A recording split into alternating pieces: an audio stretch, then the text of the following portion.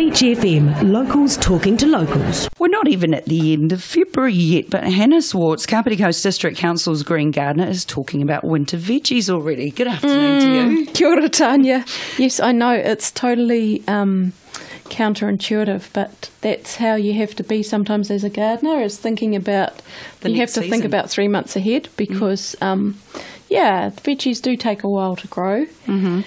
Um, it's not, yeah, it's not instant. It's slow garden, you know, slow food, you might say. But um, so I've been lately been starting to get some of the winter veggies into the ground. Leeks are hopefully already in because they they're the slowest, you know. And I love growing leek. You know, I love having leeks over winter. That's one vegetable I use a lot of Yeah, I like leeks. um, in soup and so on. Um, so yeah, you want to get them in. They're they're quite slow growing. So ideally, yet January, but you know, it's not better late than never. yeah. Um, but today I thought I would also talk about your brassicas because that is things, you know, the whole cabbage family, broccoli, cabbage, kale, which are really winter staples because they like the cool weather, they like the, the moisture over winter. Um, whereas your tomatoes and zucchinis will be dead by then. but the trick is to try and find some space to put them in while your tomatoes are still going strong.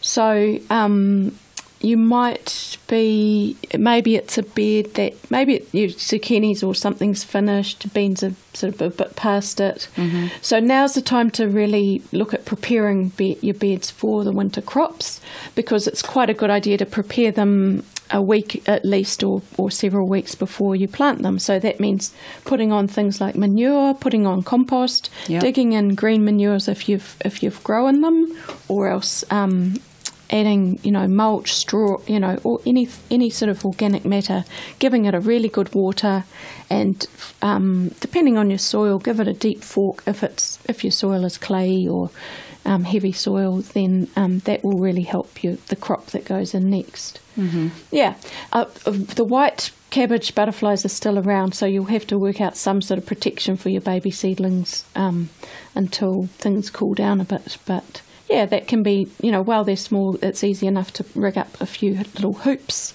and cover them with some netting or old net curtains or something like that. They're just everywhere at the moment. Yeah, yeah. My cat used to catch them, but she's decided she's too old now, so Oh, she just watched them. yeah. yeah, yeah, and they can, yeah, they can, um, they lay their eggs, especially on the brassicas, and the cap, the caterpillars just, yeah, demolish your, your little seedlings. So yeah, be aware of that. Okay.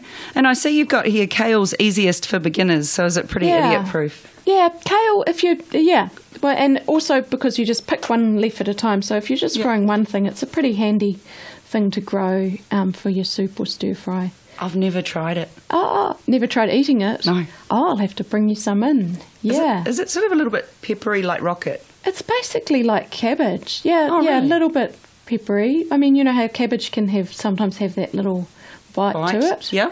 It's like a cabbage, but not, but like sort of the outer leaf of a cabbage sort of thing. Yeah. Hmm. So you wouldn't necessarily want to eat it raw, but yummy cooked. Looks a Yeah. bit spiky. Yeah. well, there's yeah, there's lots of different kinds as well. Grief. It seems to be the superfood of the moment to me. Right. Well, if you wanted to learn more about kale or maybe about gardening in your own neighbourhood, if you've got a group of, say, five or more people together, you can actually email Hannah.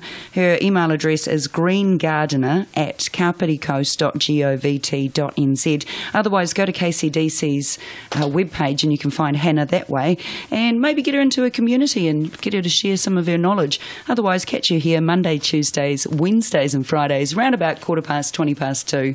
Thanks, Hannah. Have a great weekend Oh. and all the best for the garden party tomorrow. Kia ora. And okay. we'll see you on Monday. 106.3 Beach FM.